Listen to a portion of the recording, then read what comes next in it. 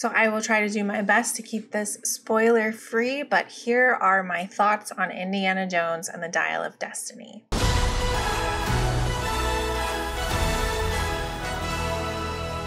So, the real question I'm sure all of you guys are wondering is Is this movie better than Indiana Jones and the Kingdom of the Crystal Skull? And the answer to that is yes.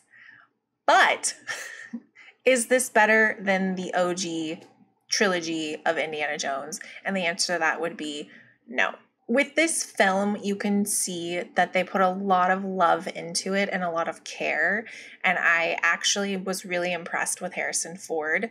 You know, I feel like when you kind of play a role for a really long time, you get tired of it. And he's really old. And I was expecting him to kind of have this dull energy, but he really brought his A game, and I really, really appreciated how well he jumped back into playing Indy. It's not Steven Spielberg who did this film, it's actually um, James Mangold, and I think that he did a really good job kind of bringing in um, the feeling that Steven Spielberg and George Lucas gave off in the OGs. As someone who grew up watching Indiana Jones, you really want to respect what they made and what they created, and I think that they did a good job with that. Before we get to the things that I didn't like about the movie, I'm going to talk about the things that I really did like about it. The first thing being, I really, really liked moments where you could feel because of the way that they were writing the story, they were trying to really hone that OG Indiana Jones, but also give him the arc of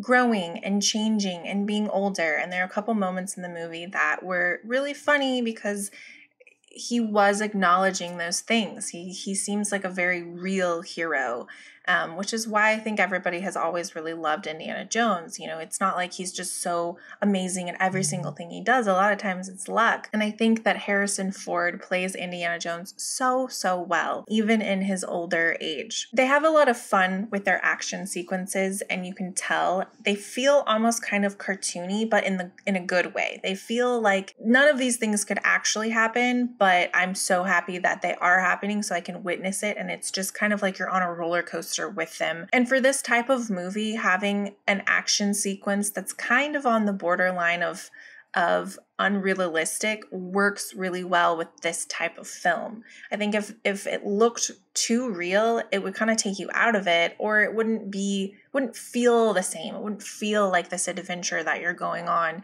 with Indiana Jones. There's a lot of moments that really remind you of the original Indiana Jones and I think that that was lacking in Crystal Skull um, Crystal Skull felt like a very different movie, where this one really felt more similar to the structure of the first few movies. So, another aspect that I really liked about the film was the fact that they kind of tied in the fourth film. I know the fourth film got a lot of hate. I enjoyed the fourth film, but I understand that people didn't like it, and I, I understand why.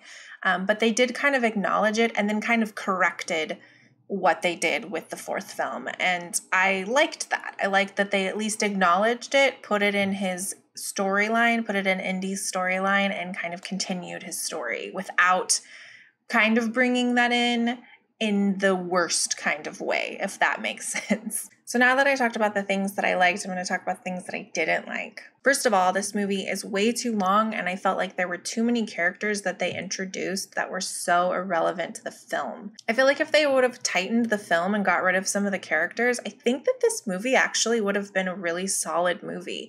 But because of those things, it really does change how the pacing of the story works. And also, there's so many lulls to it that it could have been a better film, in my opinion, had they tightened it. As I said before, I feel like they really did try to cater to fans of Indiana Jones and do a great service to him and the movie, but they definitely lacked in a few areas. I felt like there wasn't as much heart as the old ones, and I also felt like the humor that they tried felt too forced and it also felt flat. There were parts that were funny, but I feel like they could have done a lot more with it. And I feel like Indy has a lot of comical moments, and I feel like those just weren't there that were normally there.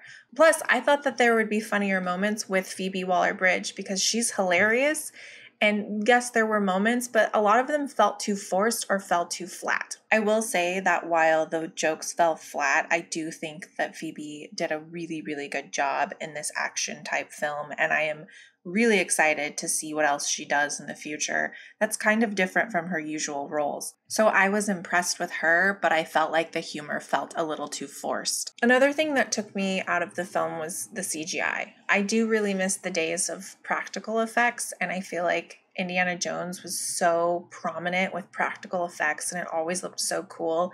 And I think with Skull Kingdom in this one, there was more CGI and it just takes you out of it. It just doesn't feel as real or as exciting. And while we've come a long way with the de aging process in CGI, I feel like there were a lot of moments where he looked pretty goofy and it just seemed like it was too much and maybe unnecessary. Like you could tell that it was his face plastered onto like a younger body, and it was just kind of jarring. It's funny though, because I feel like this might be mixed because I have heard people say that they thought it looked really good. So it's I guess it's really dependent on you. And my biggest gripe of all is that the plot is just kind of all over the place. Like I said before, I think this kind of ties into it being too long and introducing so many characters that weren't necessary. I think if they would have worked on that better, I think that would have tied better with the plot and maybe it wouldn't have felt as scattered.